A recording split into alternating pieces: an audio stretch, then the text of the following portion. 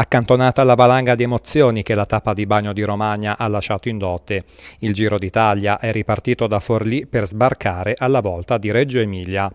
Una tappa di passaggio per una corsa che nel weekend diventerà molto selettiva ed è lì che si potrà finalmente capire se la maglia rosa dell'olandese Tom Dumoulin ha radici così solide o se invece i cacciatori che stazionano alle sue spalle potranno inserirsi nella lotta per la leadership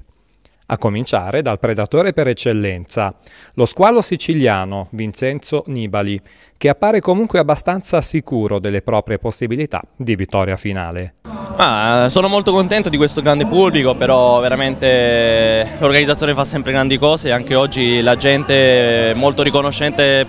arrivando qui alla, alla presenza di questa, di questa tappa, quindi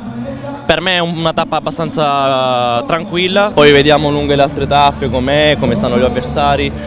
Eh, non è semplice, come ho detto è un giro molto difficile, vedremo giorno dopo giorno.